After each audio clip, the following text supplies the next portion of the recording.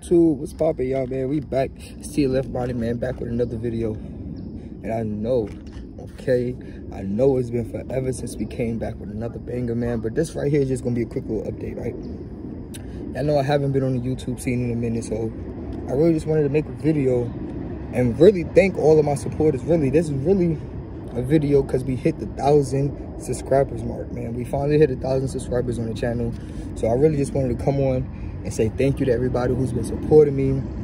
I I know we haven't been consistent at all with the videos, but man, we working, man. We working, we rebranding, trying to trying to get stuff out there the proper way, right? Trying to get the right content, trying to get things out of there. I've been getting flooded with DMs on Instagram and everything like that. My Instagram gonna be in the description, by the way. But um, we've been getting flooded on Instagram with DMs about what happened to the G37. do a separate video soon explaining everything that happened with the G37. Right? And just give y'all a quick update on what's been going on, what's been going on in my life, and what's to come, man. Because, again, we got some big things coming. I know every time I step on the YouTube scene, we got some important, you know? We got we got some sauce. So, like I said, um, we got new videos dropping, all right?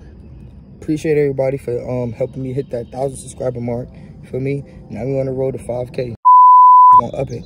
You're not doing 2k we're not doing 3k we going straight to the 5k feel, feel me? So um just keep on tuning in man. Keep on tuning in. And yeah man like i said stay tuned. Stay tuned man. Big things coming also in the comment section man let me know what y'all into all right i got the waves going on. I do a lot of stuff. I got the waves you feel me? We got the card game. We got daily vlogs coming soon. So like i said man just make sure y'all tell me what y'all into.